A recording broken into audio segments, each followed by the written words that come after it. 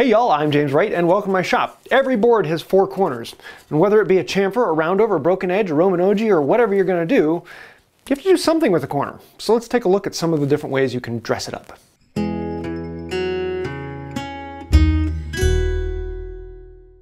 A board has two edges and two faces and two ends. And at each intersection with those, there is a corner. And corners by themselves are okay, but it's a point where you can make it look a little bit special. You can dress things up and make it something that matches you. And ever since the invention of two straight planes, we've had to figure out what exactly do we do with that intersection between them. And that has changed over the years. Things have come and gone from styles, and different people have had different things that they've liked. Kind of sounds like the rest of woodworking. Most of the time, your corner choice can be broken down into one of four different categories. Number one, you can have the sharp corner, or just slightly broken. It just comes to that corner. Number two, you could do a chamfer, where you lop the corner off at a 45 degree. Number three, you could round the corner and ease it over. Or number four, you could do something fancy. Ooh, we could do rounded beads, we could do molding, we could do Roman ogees. Hmm. You can sometimes even get an interesting date on a piece of furniture by the corners it has, because they've come and gone through styles. With the arts and crafts version, you generally had a sharp corner or a slightly eased over corner. As things kind of shifted into the Greene and Greene style and the Art Deco style, you get a lot more rounded corners. Then in postmodern era, clean, the sharp corners kind of came back into face, maybe ever so slightly eased over. In the 70s, chamfers were kind of in style. In the 90s, everything kind of went back to the rounded corners. You can tell a lot from the 90s furniture with all of these perfectly rounded, smooth corners. Now things are kind of going back towards chamfering. You see that a lot more in furniture. But when it comes to fancy corners, you don't actually see much of a dating on those because there are so many different types and style to it. You might actually find a specific type of fancy corner that then fit into a particular style of French neoclassical or something of that nature. Out of all the tools in the shop, the one I use probably more than anything else for corners is the simple block plane. It can be held in one hand and it can very quickly do most of these simple things you need to do.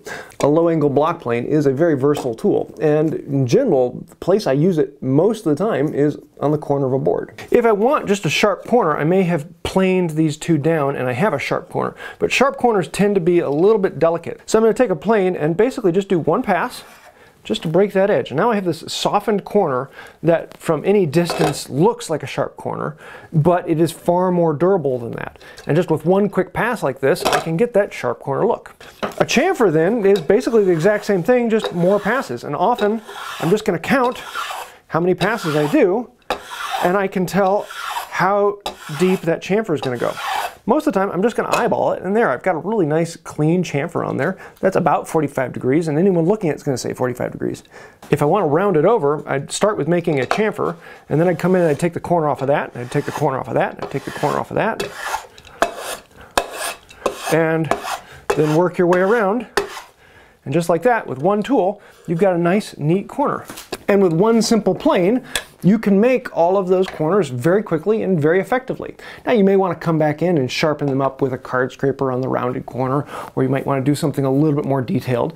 But in general, that's all you need. Now I know some in my audience are perfectionists and that isn't quite accurate enough. And yes, it's never going to be perfectly accurate when you're doing it freehand. You can get it really close and you can get it visually close. But if you're ever gonna come up and measure it or you're ever gonna get really close, you may want something that's a little more accurate than that. If you're just breaking a corner, uh, honestly, you're not going to get any more accurate than that. But if you want to do chamfers, you could make wings that go onto a plane if you have something that you can attach on the side.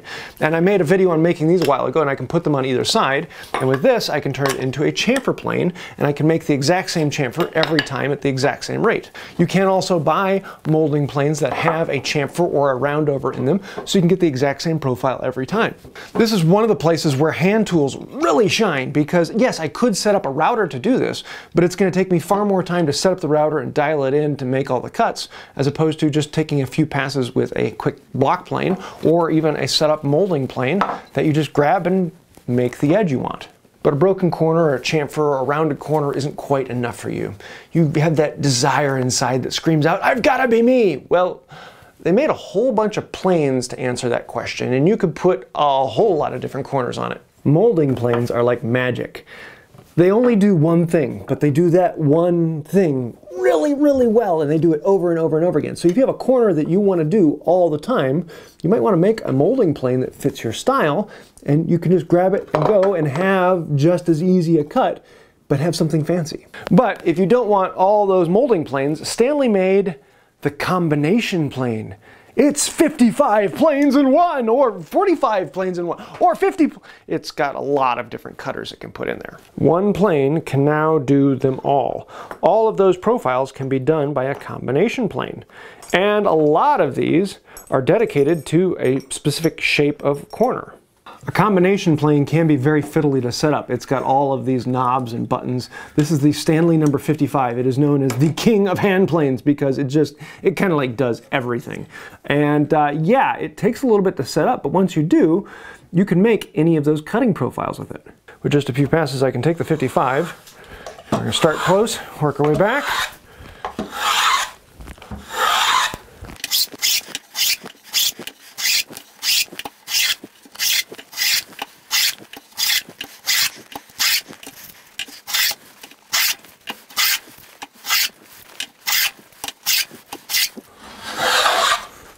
We can get a very distinctive and very beautiful ogee without much difficulty at all.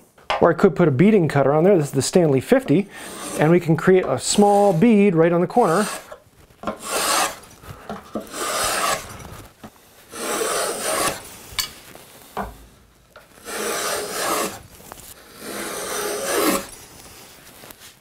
Have that nice little shape. And then I could even take it one step farther, turn the plane around, and very carefully